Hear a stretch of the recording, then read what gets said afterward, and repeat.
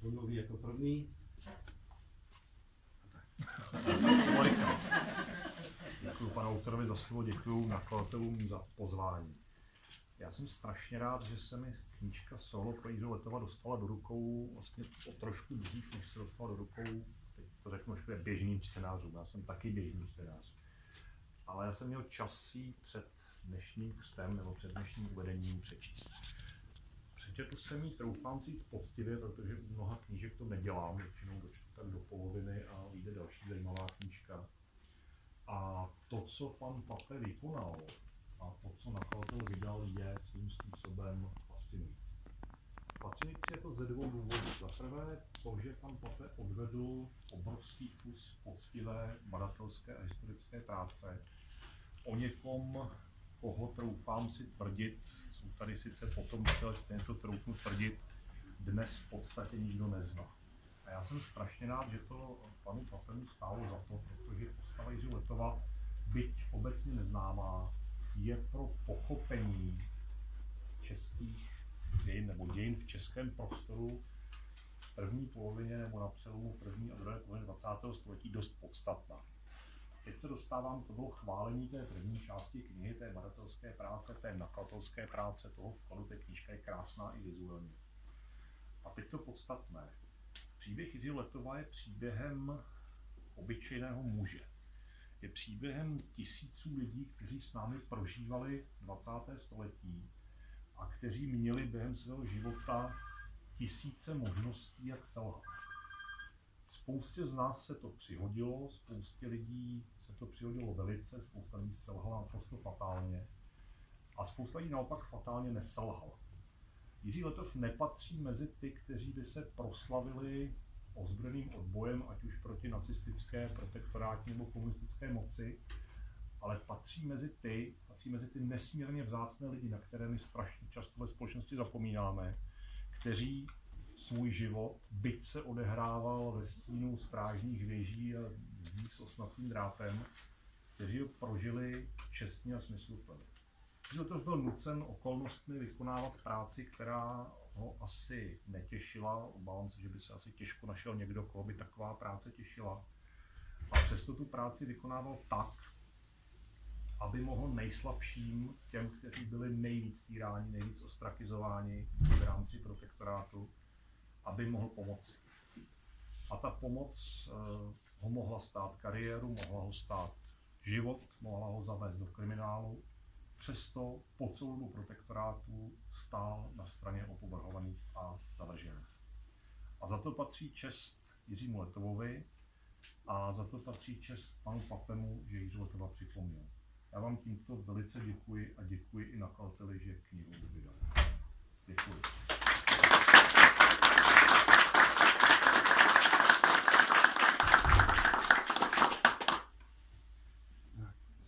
Um, taky chtěl bych poděkovat panu Paděvitovi za to, že eh, knihu tady uvedl, že si našel čas Já jsem jenom řekl, co si myslím. a hlavně nakladatelství. Um, ale především děkuji všem, kteří pomohli.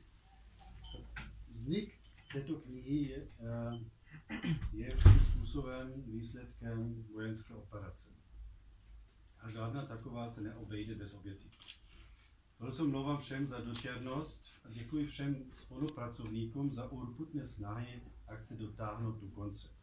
Děkuji své rodině a svým dětem, Tobimu, Leje, Viktorovi, že jsem se na jejich úkor ven, mohl věnovat vzniku té knihy tak, jak Letov přednostně sloužil své armádě.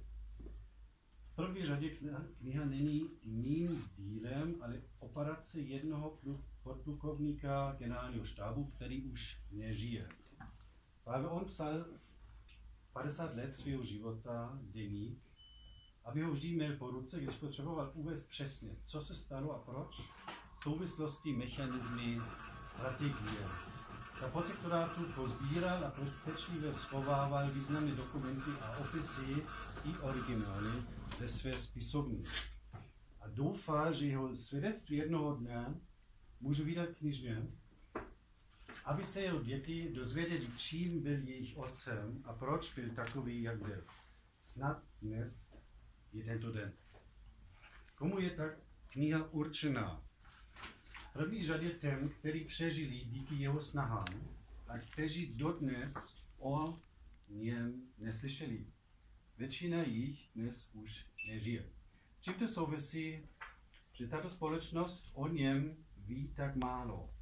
Jednak tím, že předválečné přípravy československé armády byly přísně utajovány a těsně před vpádem německé armády do Prahy téměř veškeré významné s tím související dokumenty důkladně zničeny.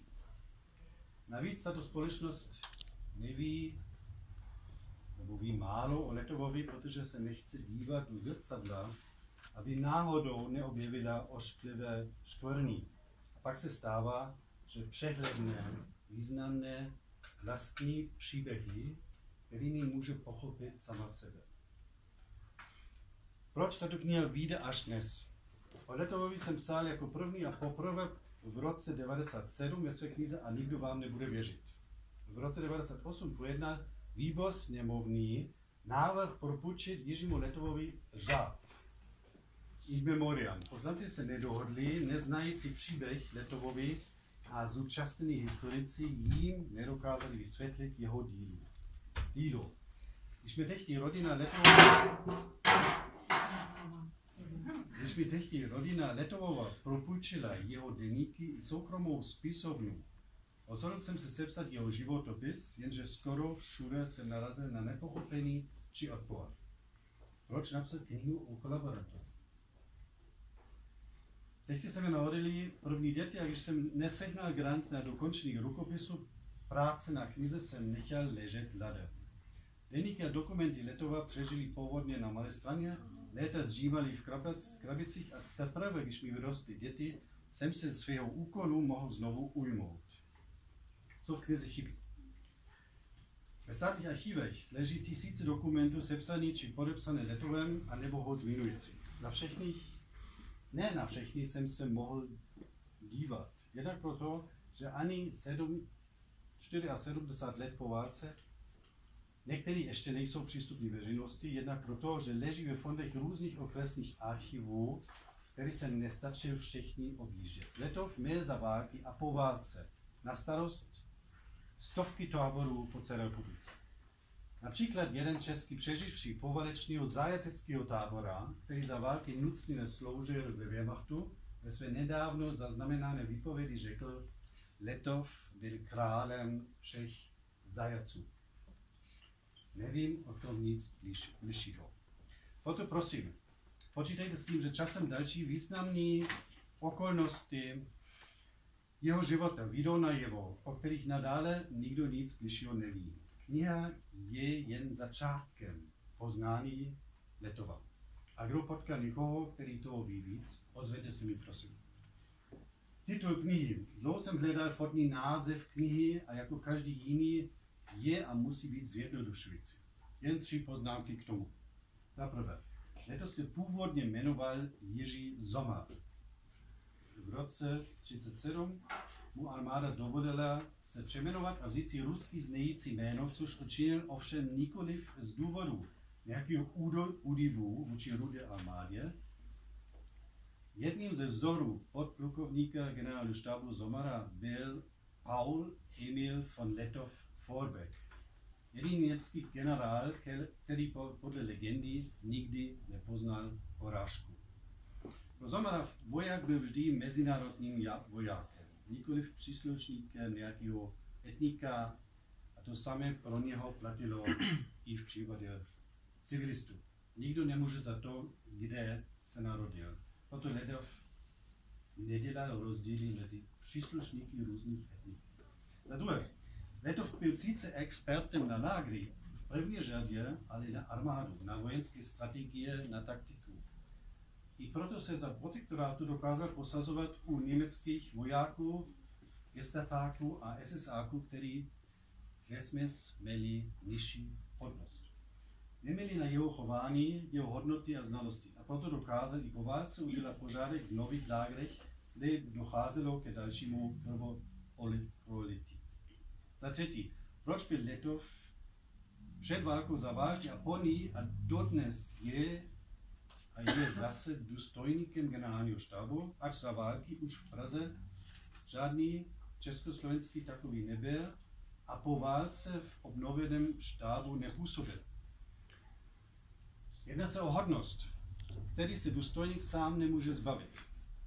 I když o komunistický režim degradoval později na vojna, Letov nadále postupoval podle pravidel generálního štábu do konce svého života tam, kde zrovna byl. Dnes tato pravidla všem skoro nikdo nezná. Na závěr, dějiny se skládají z příběhů jedinců, skupin a soustav. Vždy jsou to jedinci, kteří za jakýchkoliv režimů mohou vynikat díky tomu, že mají pevný hodnotový systém. Pokud chcete poznat dějiny a pochopit je, hledejte a přečtěte si příběhy klíčových svědků dějin, odkrývající souvislosti a velké činy. Doufám, že tato kniha vás přesvědčí, přesvědčí že Letov jedním z nich byl. Děkuji vám.